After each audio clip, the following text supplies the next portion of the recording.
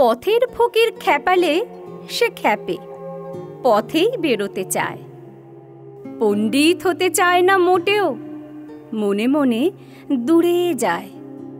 দেহ ঘরে থাকে, মন বসে থাকে ইচ্ছে নদীর নায়। সারাদিন ধরে দাঁড় বেয়ে যায় হাট খোলা জানালায়।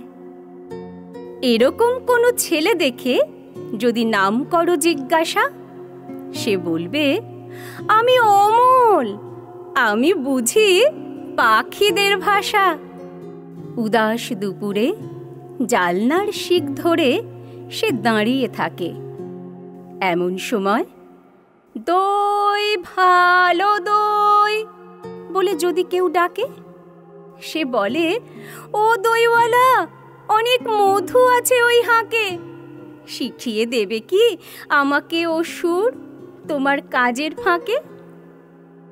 এমন ছেলেকে যদি খুঁজে পাও কোনো পাহাড়ের তলে, সে বলবে, আমি অমল, ঝাঁপাবো শ্যামলী নদীর জলে। আর একদিন ফেরার সময় হয়তো ফাগুন মাসে হঠাৎ দইওয়ালা বঞ্চির বিয়ে দেবার কথায় আসে। সে বলে তাহলে সে যেন সকালে লাল শাড়ি পরে হাসে। মাটির ভাঁড়েতে দুধ নিয়ে এলে তাতে যেন ফেনা ভাসে। এমন পাগল ছেলে দেখে যদি বলে, তোর নাম কি রে? সে বলবে, আমি অমল। আমি তো আছি তোমাদেরই ভিড়ে। একদিন সেই ফকির খুলল হালকা দেশের দ্বার বলল, জানিস, সেই দেশে নাই কোনো জিনিসের ভার। এক লাফে কোনো বিরাট পাহাড় সহজেই হবি পার। তা শুনে সে বলে, নাম বলো নাম বলো সেই অদ্ভুত দেশটার। সেই দেশে গিয়ে যদি কেউ তার নাম জিজ্ঞেস করো, সে বলবে আমি অমল, এখন লাফাচ্ছি, তুমি ধরো ধরো। যখন দুপুরে রাজার প্রহরী ঘণ্টা বাজায় দূরে, সে ছেলের মন উত্তাল হয় ঢং ঢং ঢং সুরে।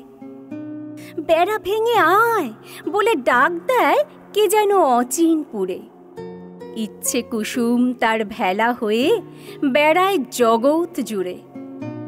সেই ছেলেটার খোঁজ পেয়ে যদি জিজ্ঞাসা করো কিছু, সে বলবে, আমি অমূল, কেন যে ঘোরো মিছে পিছু পিছু? একদিন শোনে রাস্তার পাশে আছে এক ডাকঘর। সে বলে, ইচ্ছে, ডাক ঘর করা হয়ে তুই কাজ কর। প্রহরী জানায়, রাজার পিয়ন চিঠি এনে সত্তর, তার হাতে দিয়ে বলবে, এই নে তার চিঠি এটা, ধর। চিঠি পাওয়া এই ছেলেটাকে যদি তোরা ডাক দিতে চাস, সে বলবে, আমি অমল, আমার তোদের মনেই বাস। নুপুর বাজিয়ে সাজি হাতে নিয়ে যদি কেউ আসে ধে, সে বলে, জানি তো, তুমি হলে গিয়ে শশী মালিনীর মেয়ে। সাথে করে যদি নিয়ে যাও, তবে গাছে উঠি ডালবে। মনুয়া পাখির কাছ থেকে কটা ফুল নিয়ে আসিছে। সেই ছেলেটাকে দেখে যদি কেউ চাও তার পরিচয়, সে বলবে, আমি অমল, আমার নাই ক্ষয়, নাই লয়। আমি অমল, আমার নাই ক্ষয়, নাই লয়।